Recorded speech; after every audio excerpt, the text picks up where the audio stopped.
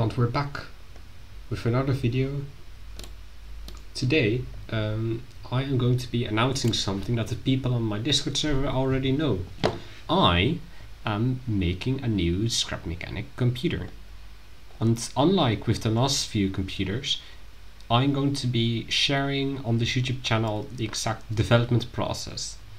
Now, sorry to bring the bad news, but the most important and complex part of the development process has already been done, and that is designing the entire computer. You can pause the video and look at all this amazing work I've done.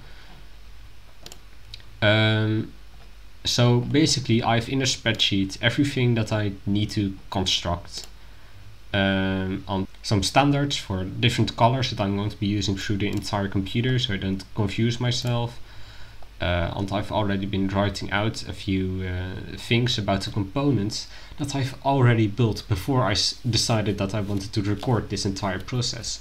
So let me now show you the address module.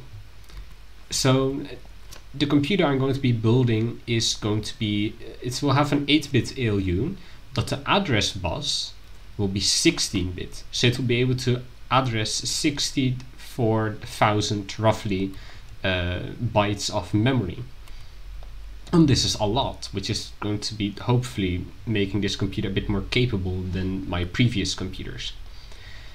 So this module has uh, only one purpose, and that is to make sure that the address being outputted is something useful to make sure that the, the computer is going to be getting the data from the address that it needs. So there's three different things that the address should be able to output. One is the uh, current program counter, which is the address specifying the line of code being uh, executed currently.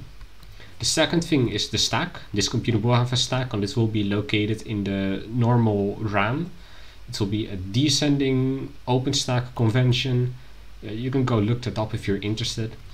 Um, and there's going to be some uh, customizable uh, stuff, or I mean, not really customizable, but uh, these are going to be a high on the low parts uh, will be split into single bytes, and this will make sure that uh, you can actually uh, request a custom address to be read. This is going to be handy if you want to read something out of RAM to do a mathematical operation on it and then write it back to RAM later. So all these blue gates, these are going to be things that the uh, decoded program will be triggering. So here we can uh, select the the different uh, types of addresses to be loaded. Here we can uh, increment and decrement the stack counter it, it looks like it's very high, but this is a descending stack. So it starts at 255 and then it goes down as you add values to the stack.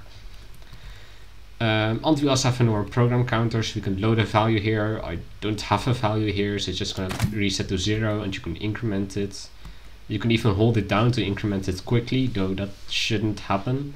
The computer will be giving one tick pulses to all these uh, gates. Um, so yeah, that's about it. It's uh, one of the simpler parts of the computer, but one that will be performing a very important task. So it's all uh, XOR memory, very quick. Um, wiring the, the, the counters was a pain. Like the amount of wires you have to make grows exponentially, so don't make 16-bit counters. Like find one from the workshop, or maybe use a blueprint editor. Um, I might provide a blueprint if you ask for it. If you do want a blueprint, give leave a comment, subscribe, go to the Discord server, bye.